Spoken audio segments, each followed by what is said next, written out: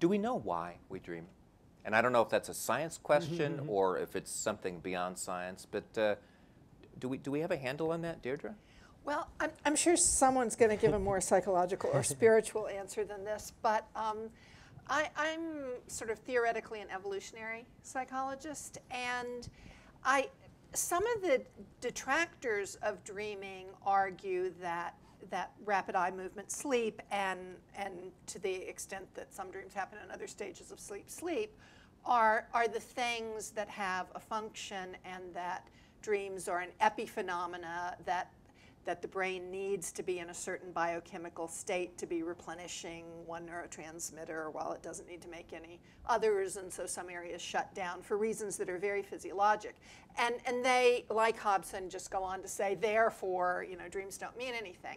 I think they're probably right about what the basic core origin, ba- basically, it's with the start of mammals that REM sleep developed.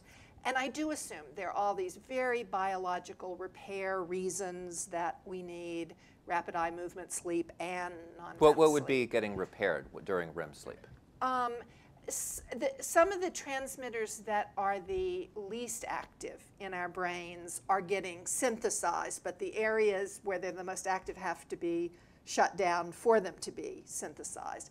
The, the immune system seems to be producing things. There are a lot of things going on, but, but in terms of the brain, uh, some, some neurotransmitters are not being made in adequate quantities while we're awake, and we would, we would be more and more depleted. so- so so- anyway, so I think that that's like the main reason that we have the sleep cycle that we do for all of mammals.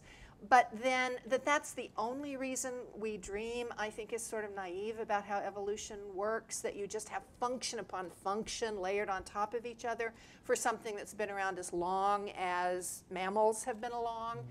And so there are probably some psychological functions for all animals and some for primates and some that are specific as the human brain developed. So I think we're just thinking in a different biochemical state. And some of the reasons for that state may be biological repair, but then once we're in that state, we, we visualize things better. We don't think in fine logic as well.